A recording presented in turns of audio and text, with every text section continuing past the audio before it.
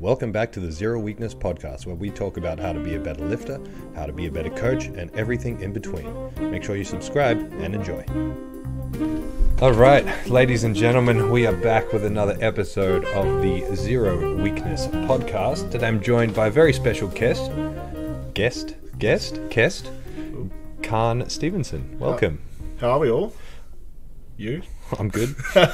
How are you? Good. How are you? All right, we need to introduce you to the people. Who are you? What do you do? um, so I'm Kahn Stephenson.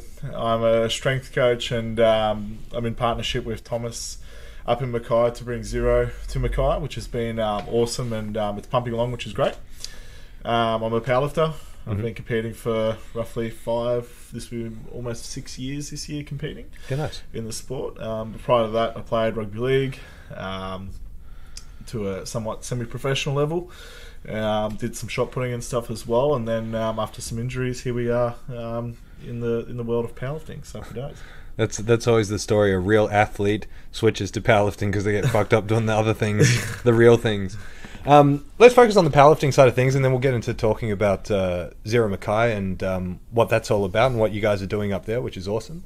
Um, so you said you've been powerlifting for five or six years. How did how did that even start out for you? Like, how did you even discover powerlifting in the first place? So I was, um, yeah, funny enough, I was playing rugby, and um, at the time, I was basically on my way out. I um, had a few injuries and stuff like this, and a, um, a couple of serious head knocks.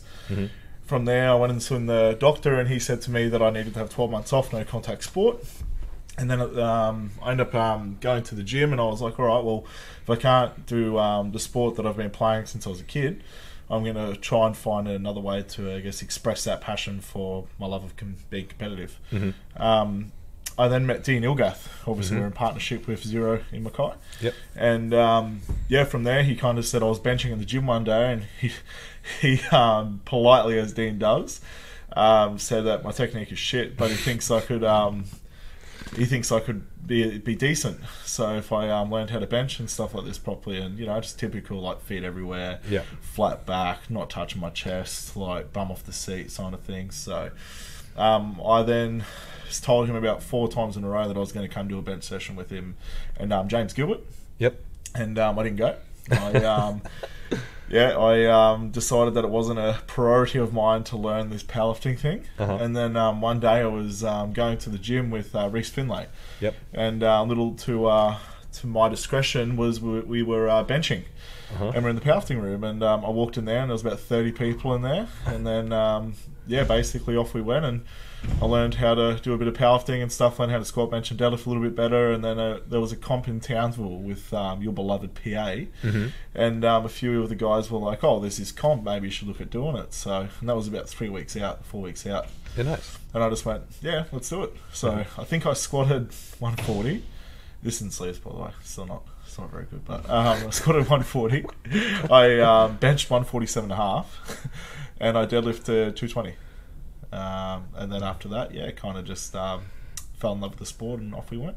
Yeah, nice, nice, nice, nice. So you started off in PA, and I believe you did a few nationals. Yes, yeah. So um, my first year in competing, I went and did like their version, I guess, like of NQ States, I guess.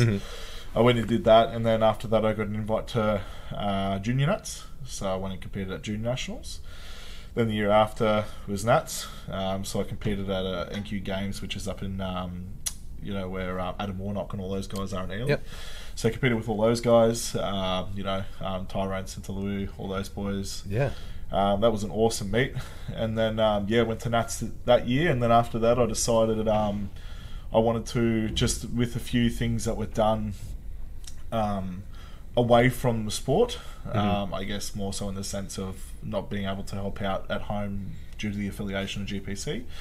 I made the decision that I really want to be a part of what's going on in Mackay, um, and I can't to the full extent that I want to. So I end up going to um, GPC that, that following year. Yeah, yeah, it's just one of the unfortunate things about PA is like not being able to go to those local meets that you only had at Mackay, you know, the GPC and the novice meets, and um, it not being PA. I mean, you could get in trouble if you were caught helping out in an official capacity, but Well, I did, but that's, you just do it anyway. Most people do, you know, lots Yeah. of people do.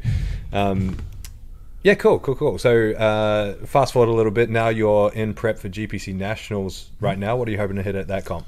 Um, well, I guess like, well, I'd, I'd love to go 850 plus. That's kind of, I guess, our plan that we've spoken about coming into the meet and stuff. Um, as far as numbers go, I really think I can squat 340. Mhm. Um, I think you know 350 may or may not be there, but um, 340 is definitely a number I think I'm, I'm capable of hitting right now. For sure. Um, bench um, 200 plus. I haven't hit 200. Uh, at- I've never even attempted 200 in the gym or at comp. Yep. Um, but I think 210 is looking very doable. For sure.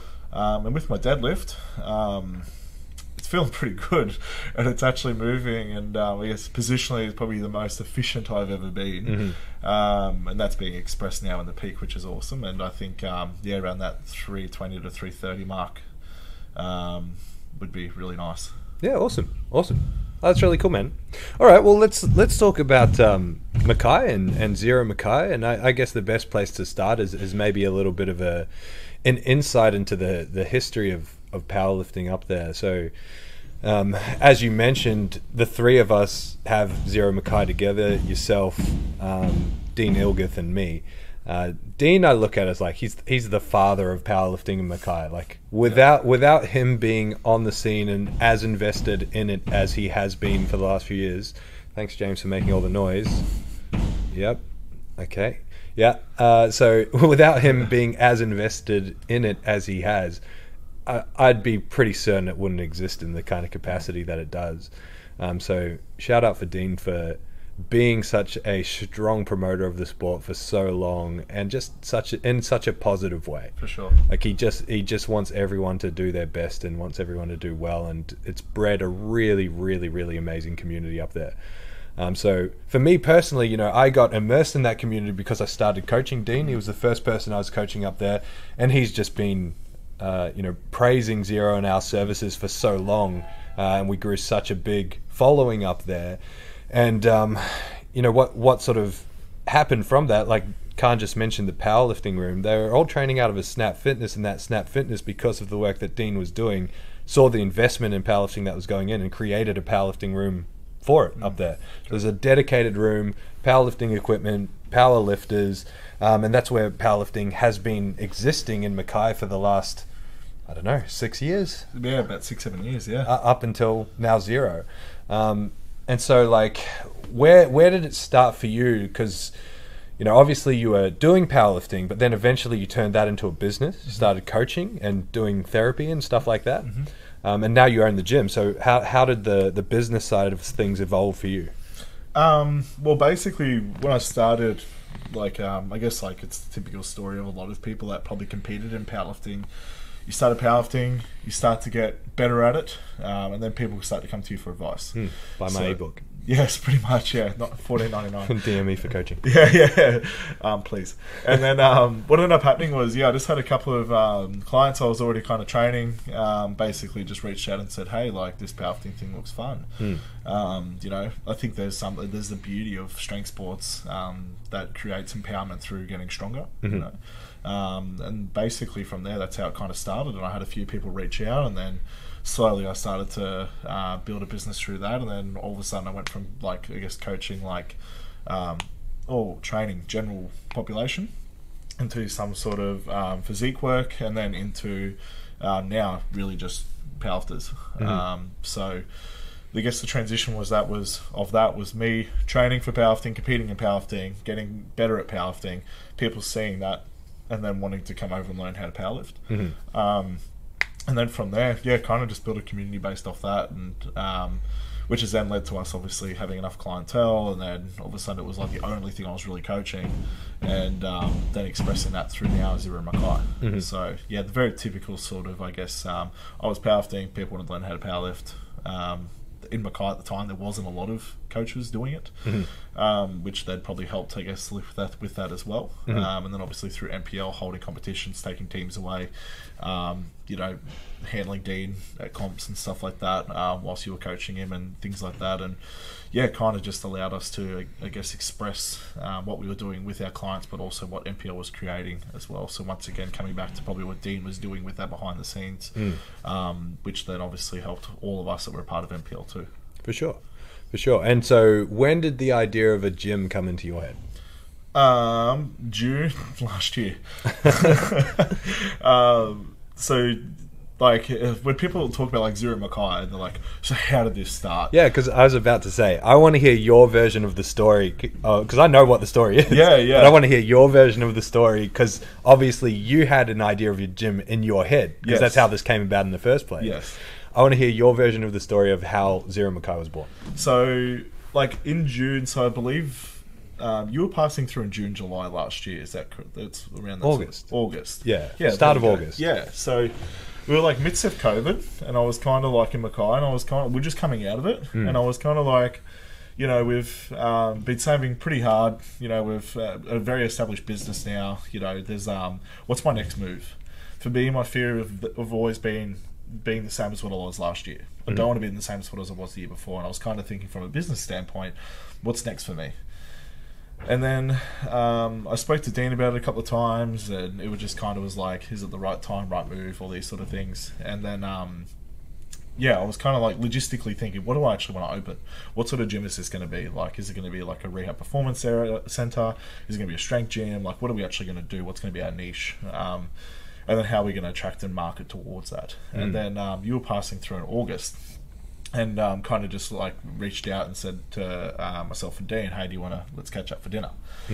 So we went for dinner at uh, probably the, the worst place in Mackay to go for dinner. But Oh, those were the legitimately the worst barbecued meat I've ever had in my life.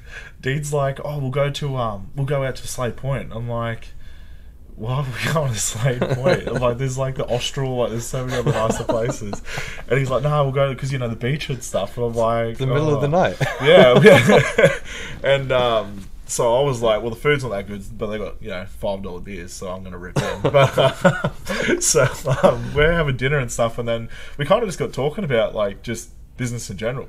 Um, and just asking how things were with myself, like you asking how things were with myself, and then I floated the idea of what I want to do in the next um, twelve months, kind of thing. And then um, I believe you went to like you went to Hamilton Island with Dan and Carly, and then just got talking and just were like, you know, and then um, talking about the idea of potentially doing something. Yeah. And then um, I, Sunday afternoon, I got this message from you, and um, I remember it was like this big novel of like zero Mackay, like what zero could be, like you know, just like just in general of like what we what would happen, what we could do. And I remember replying saying I'm in. um, and then literally, I think we got on the phone. Was it maybe the Monday or Tuesday for a Zoom call? Yeah. Logistically trying to work things out, I guess, on how- how it would happen. And then the week after, or the week after that, we um, paid for our Chinese, like our equipment order. that was basically off we went. Yeah, it happened pretty quick, didn't it? It did, yeah. We didn't even have a company structure or like, um, or anything done up. We just ordered everything. Yeah. No, that's how we do it. Just jump in head first. Don't was- ask questions. Yeah, so that's my. What's your version of how that happened? Well, pretty much that. Pretty much that. Like I remember going out to dinner, and I, I, I, I had thought of the idea of a gym in Mackay for years, Yeah. just based on what they were doing in Snap. But it, it never quite worked because everyone that was heavily involved in MPL, so Mackay powerlifting, um, is, is pretty much uh, FIFO workers, right? Everyone's miners that fly in, fly out, and like the idea of, hey, quit your two hundred and fifty thousand dollar a year job to slave away in the gym for twenty bucks an hour. That sounds like a great idea, doesn't it? Like I, I just. I, I didn't really think it ever had legs because there was no one that could really lead from the front. And I, I didn't go up there and didn't go out to dinner with any intention of floating this idea of opening a gym. It was like it was not on my mind at all. And then you brought it up, and I'm like, oh god, now my head's doing the thing. It's doing the thing again, just like it did with Daniel. It's Yeah. doing the thing. All right, here comes gym number three. Yeah, yeah. And then yeah, just uh, spoke to Dean and said, you know, do you think Kahn would be interested in if I float this idea? Because at dinner, I remember specifically, it was like a two, one to two year plan. For you. Yes, yeah. Um, and that was exactly what happened with Daniel with Southside. It was like a two year plan for him, and I'm pretty much just like, hey, you want to turn that two year plan into like a next week plan? yeah, yeah. We're ordering equipment. Let's do it. Yeah, yeah. I uh, it was funny though because I was like I remember talking to you about it prop like when we actually had the Zoom call and stuff and logistically going through things, and um, you were like I'm only in if it's before March, and um, this is like last year. So like you're like I'm only in if it's like we're doing this before March next year. So like 2021. Yeah. And um, I was like, yeah, cool, let's let's do it. And I remember like we were ordering stuff, and as we are ordering things, like we always had this idea in our head where we're like, okay, cool. And the gym's doing like really well. We've got a really good community there. Yeah. Um, memberships are really great. Like just it's just a good place to train. Like Mm. there's just a lot of really good people that are involved now, and um, with that, there's also people that are just driven and you know it, it creates lack of motivation but creates driven people. And i think um, that's also part of the parcel of strength sports as well and especially niche strength sports like powerlifting and stuff like that. Um, but i remember like when we ordered equipment like I, th- I remember sending through the first order and then we went back and forwards and back and forward a few times and it was like now we need more now we need more now we need more. And then it went to the point now of where we've just doubled our Lico order um, we've just put in more like a bit of an update for a couple of pieces of machines that we think that we need in the gym. Um, and then talking about further expansion in the next 12 months and stuff. So yeah it's very exciting. Yeah, I mean it's it's exploded up there in a way that neither of us could have predicted. But I think a big part of it is like you guys always had the community, but it was headless. Uh, There was because it was as part of a commercial gym with no owner of the room, no coach of the room, no leader of the room. There was, uh, you know, there was a couple of figureheads, but no one was really like, I am the guy, you know. And uh, one thing I'm really proud of with Zero and now with Zero Gyms being multiplying um, is the kind of culture that we create, and that only happens with leadership. And I think with with you and uh, you know, and partially Dean, and of course Becca and Carly, and you know, you guys leading from the front in that way, it's now like removed you from that environment where there couldn't be leadership, put someone as a firm leader. Uh, and that gives people a much safer environment to grow the community, which is why it's exploded. Like it's the community was already there. It was already cohesive. It was already existing, but it was so segregated because of a lack of leadership. Yep. And I think now that the leadership is formalized, it's just exploded, and it's so incredible to see. yeah, and I'm really excited to see like where like we haven't even had an open day yet. That's um, it's like there's a lot of things that I guess that um are happening right now that I think are going to really lead the way and create that path for what's next. So- Yeah, yeah, yeah. Like I, I think a lot of people don't realize. Of course, the people external to Mackay won't realize this at all. But even the people in Mackay may not realize how much stuff we have coming. Yeah. Like it's a skeleton of the gym it's going to be Yeah. at the moment. Like on the way, we've got. Uh, I think six Texas bars. You know, Yep. four Texas deadlift bars, a squat bar, power bar, maybe. Um, we've got, uh, I think, seven or eight of our custom zero weight trees. We've got four custom zero platforms. We've got a ridiculous amount of Eleiko. I think it's like five ton or something like that. We'll have close to seven. We'll have over seven ton of Eleiko calibrator plates in the gym once everything comes. Which is That's crazy. shitloads more than any other gym in the country has. Mm. At, at an estimate, the only gym that may come close is somewhere like Ruchi's, but I'm pretty sure that'll put us above them in terms of the calibrated plates that we've got there. Yeah. which is unreal because the Ruchi's gym is just incredible. For sure. it's an incredible space, and I think the this space is going to rival something like that. You Mm. know, as like a, a powerlifting paradise, but. I mean, the really cool thing about uh, Zero Mackay and now what it's brought to the table with Zero as a whole is like Zero um, Gold Coast and uh, Brisbane primarily focus on powerlifting and taking athletes and, and doing strength training with them. You guys, of course, have that, but you guys have such a strong uh, presence in like the figure stuff as well. With, with Becca being like a champion, she's a pro now, right? Yeah. With Yep. Becca being a pro competitor, like that's a such a such a big addition to, to what Zero is and what Zero has, and I'm really really excited to see what that then looks like over time and how it continues to grow. for sure, Hmm. for sure. No, it's all very exciting. I think it's just, um, just like, you know, when you think you've got all the pieces for the puzzle, but then like the puzzle keeps getting bigger, Hmm. Yeah. and then you got to find more pieces. Yeah, yeah, yeah. It's like that's what I um, like. Somebody I was talking to somebody the other day um, who owns like a couple of cafes in town, Uh-huh. and they just said like, you know, how is everything going? And I said it's it's one of those ones where like, here's the puzzle piece. I've got all the pieces, and then it's like now the puzzle piece is bigger. But it's good it's bigger because now I need to find more pieces to that puzzle. And pieces to that puzzle is most of the time people. Yeah. So um, finding the right people, finding the right people to fit into that puzzle, and then also finding, um, I guess, kind of like what where you fit in that puzzle and what piece you are. So Hmm. I think that just allows us to express that not only in Zero Mackay, but also the support and leadership that we get from you guys as well. Yeah, yeah, and I I think that's a really important note like as uh, for people listening for this even if you are not in the business space but especially if you are running some sort of strength gym or strength coaching business um, like a lot of people are looking at something like zero now and seeing the expansion and the growth and and probably wondering you know what's the point of difference how is this possible like, people would assume that we've just got money coming out of our ears or something like that which just isn't the reality Yeah. it's like as you get bigger and bigger, your buying power becomes more. So buying stuff becomes easier. So we can expand quickly in that way. Um, all the uh, equipment, the growth, everything has been born of the hard work that we've put in to generate the money through the business to, to put it back in. Like I don't work an extra job.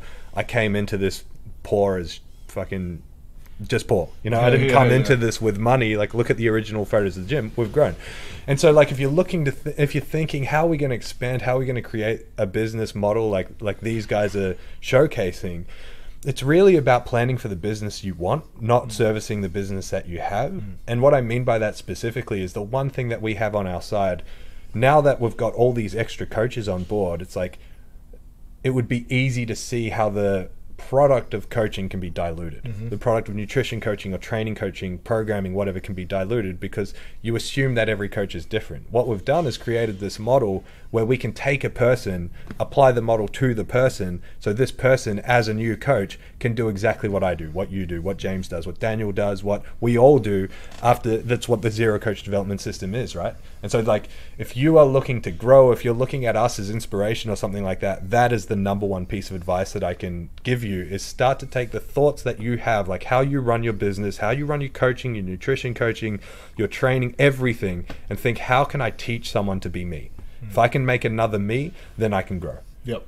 Like, all coaches get stuck at some point because they're limited by their own capacity. That was you like a year ago. Yeah. You had so many people, and it's like, how the fuck can I grow? Mm. So your immediate thought is, I need to bring another coach on board. And that'll never work because you'll always be looking for the perfect coach, and the mm. perfect coach in your head is you cloned, Yeah. and they don't exist. Yeah. So like for me, that's what I was always like, and now it's like, well, I can clone myself by taking my coaching knowledge and just putting that in someone else because I've got a system for that. Mm. That's what you guys need to do. Listening to this, if you're wanting to to grow your coaching business, you can't look at it as looking for the perfect coach that fits your model. It's taking your model and making it fit another coach. Mm. Yeah, for sure. And I think just part of that's probably like understanding your model. Hmm. Like, there's a lot of like one thing I probably learned, especially was like system. Mm. Like, I didn't have an itemized or you know re- rehearsed sort of system that was in place for how I'm going to approach everything. I kind of took it on as it came on. Um, where now it just allows you to streamline with keeping the same quality that you've got, whilst also being able to teach at the same quality to everyone else. Yeah. and that's exactly what I guess I've learned through this like zero, especially the coaching systems. You know, the coaching systems. Um, uh, they break everything right down, like um, in the way that you teach it and the way that's being taught um, through that education system, is where it's broken down to the common um, conceptions of coaching, how to apply them to everyone, and then from there being able to create the exact sort of replicant of that model where it's squat, bench, and deadlift that you want to see and create.